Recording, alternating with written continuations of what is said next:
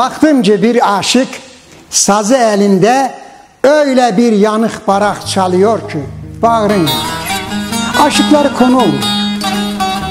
Mahmut Coşkuner Antepli rahmetli anıyorum. Meri'yi yazan da o adamdır. Meri türküsünü söyleyen de odur. Bizim Erzurumlu aşıklarımızdan şimdi İsviçre'de bulunan rahmetli Reyhani Baba'nın çırağı olan Ömer asıl öz adı Ömer'dir.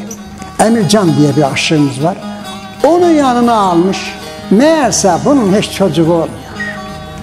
Buna demiş oğul sen öyle güzel çalıp söylüyorsun ki özünde anlattın bir fakirin oğlusun. Gel sana bütün evimi, eşiğimi, her şeyimi vereyim. Yeter ki ben Enteb'e beraber gideyim. Anamın yanında seni götürüp özüme oğul edeyim. Anam ağlamasın bunun oğlu olmadı diye. Baktım çocuk da mahcup, aşık da bunu çalıyordu. Bütün dostlara armağan olsun. 1976'da ve tüm Türkiye aşıklarından aldıklarımdan bir hisse.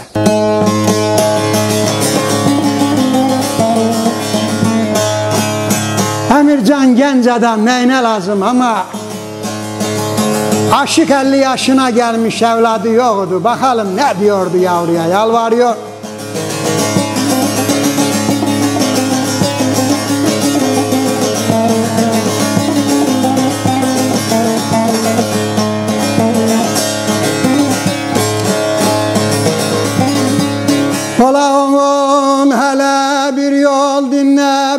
Sözümü.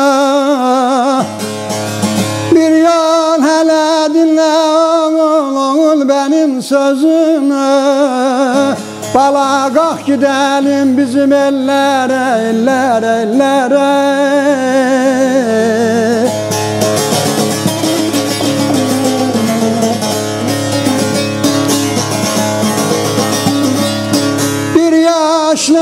aşığım gam bürüdü gözümü Bir yaşı gam gam bürüdü gözümü Bala kalk gidelim bizim entebele bizim ellere. Amanın amanın amanın amanın amanın amanın amanın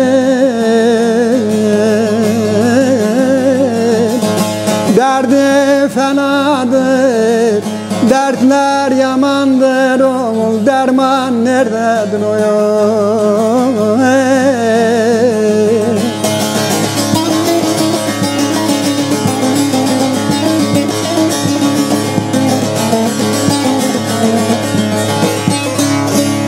Bütün aşıklar bakıyordu.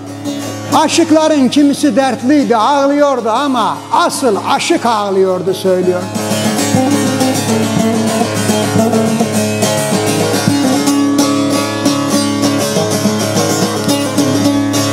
Bir yaşlı anam var oğul oğul Behler yolumu Bir yaşlı anam var oğul Behler yolumu Kırma kanadımı kırma kolumu. Var o Dur da sana diyem ben bu halımı, halımı, halımı, halımı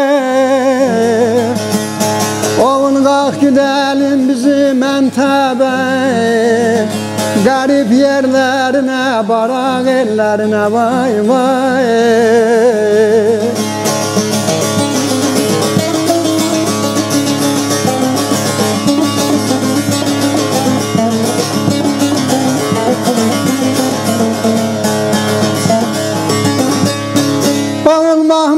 Coşkun erim oğul oğul oğul yüreğim yara Mahmut coşkun erim yüreğim yara Sabahtan düşmüşem de bala ben intizara hey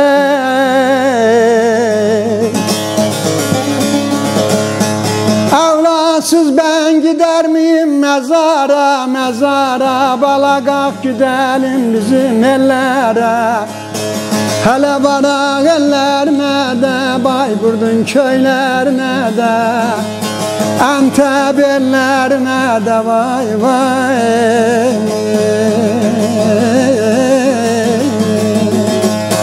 Oğul oğul derdi yara Selam söyle derdi yara.